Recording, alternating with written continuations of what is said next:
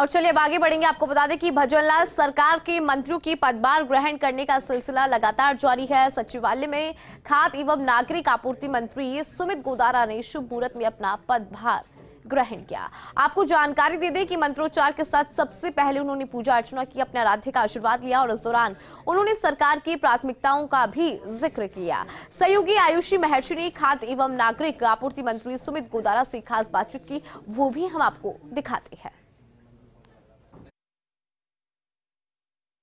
Cabinet मंत्री सुमित गोदारा और लूण करड़सर से विधायक सुमित गोदारा इस वक्त मेरे साथ में मौजूद है। और देखिए खाद्य एवं नागरिक आपूर्ति मंत्रालय इनको मिला है। सर सबसे पहले तो फ़र्स्ट इंडिया न्यूज़ की तरफ़ से बहुत बहुत बधाई। धन्यवाद धन्यवाद thank you thank you sir किस तरह से देखते हैं इस नई ज़िम्मेदारी बिल्कुल हर जिम्मेवारी एक तरह से आदमी को एहसास करता है कुछ नवाचार करना कुछ कार्य करना ताकि वो अपनी पहचान बना सके। मेरे पे भी यही एहसास आ रहा है कि अच्छा कार्य करें जो मैं केंद्रीय नेतृत्व प्रदेश नेतृत्व और माननीय मुख्यमंत्री भजनलाल जी शर्मा जी ने जो जिम्मेवारी दी है उसका ईमानदारी से निर्वहन करते हुए अच्छा कार्य करें जिससे प्रदेश की जनता और भारतीय जनता पार्टी में अच्छा संदेश जाएगी सर, वन नेशन और वन राशन कार्ड को किस तरह से धरातल पर जाए?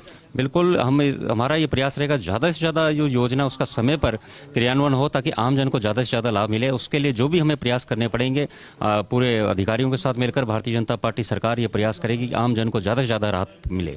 सर अंत्योदय का सपना किस तरह से पूरा अंत्योदय का सपना जो वंचित लोग हैं जो वास्तव में डिजर्व करते हैं जिनको राशन मिले और जो आज भी हम गाँव में जाते हैं बहुत लोग हैं जो वास्तव में गरीब हैं और जिनको ये मिलना चाहिए वो हमारा प्रयास रहेगा उन लोगों को उस एन के तहत उनको खाद्य सुरक्षा के तहत उनको लाभ मिले। आ, सर गहलोत सरकार के द्वारा फ़ूड पैकेट बांटे जा रहे थे क्या उसको कंटिन्यू रखा जाएगा? देखो इस समय के साथ माननीय मुख्यमंत्री जी के निर्देशानुसार जो कार्रवाई है वो हम करेंगे उस हिसाब से जो भी उचित लगेगा उस हिसाब से। आ, सर प्रधानमंत्री नरेंद्र मोदी के द्वारा जो खाद्यान्न बांटे जा रहे थे उनको राजस्थान तक किस तरह से लेकर जाएगा? देखो माननीय प्रधानमंत्री जी द्वारा केंद्र की अनेक योजनाएँ थी जो पूर्व थी कांग्रेस सरकार द्वारा जिसका इम्प्लीमेंटेशन नहीं हुआ जो जिसकी वजह से राजस्थान काफ़ी पीछे गया। जैसे आप ये अपने प्रधानमंत्री आवास योजना है जल जीवन मिशन है और लाइट में आरडीएस स्कीम इस तरह अनेक हैं जिनका जानबूझ के क्रियान्वयन ढीला किया गया जिससे ताकि आम जन में संदेश नहीं जाए कि मोदी जी की योजनाओं का लाभ मिले।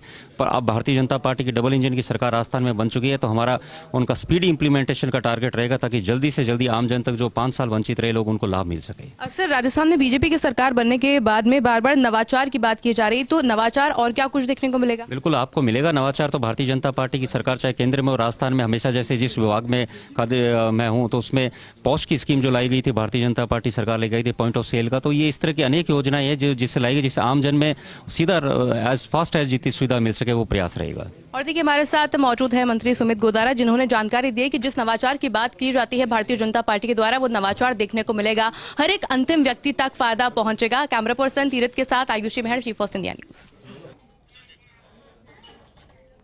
और देखिए, खास बातचीत फ़र्स्ट इंडिया न्यूज़ की टीम ने की और आपको जानकारी दे दी कि अपनी प्राथमिकताओं का ज़िक्र किया और आज सचिवालय में मंत्री सुमित गोदारा ने पदभार ग्रहण किया। सबसे पहले पूजा अर्चना की, अपने आराध्य को याद किया, उनका आशीर्वाद लिया और उसके बाद अपनी सीट पर, अपनी कुर्सी पर विराजमान हो गए। और साथ ही उन्होंने कहा कि अधिकारियों के साथ बातचीत की जाएगी, अधिकारियों के साथ आगे बैठक भी की जाएगी, क्योंकि लगातार जो प्रधानमंत्री नरेंद्र मोदी का विजन है, उसको लेकर कैसे आगे बढ़ा जाए, उसको लेकर भी चर्चा की जाएगी।